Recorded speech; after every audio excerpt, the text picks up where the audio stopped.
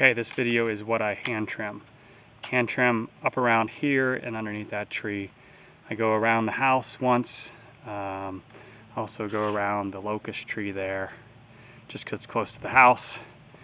And the around the driveway I also go around. And then this corner over here, um, I go a couple of times just because it's pretty steep. But if you probably went one way and came back the other way, the mower would be fine.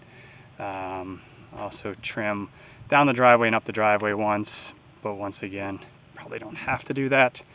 Uh, trim around this tree, trim around the well cap, the ash tree. Um, I trim around the uh, septic, the holding tank, and the distribution tank. Um, you just get close, that's fine.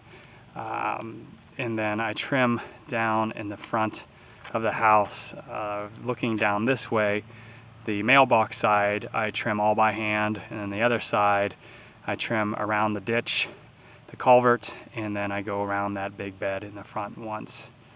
Um, and then way, way, way in the back, I do trim around a lot of those trees that are kind of along the lot line between us and the airfield. Um, but the grass is barely growing. It's Kentucky bluegrass back there and the season is pretty much done for it. So you probably don't have to hand trim.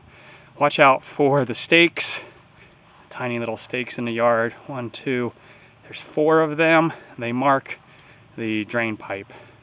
Um, so I do hand mow around those. Um, and you'll see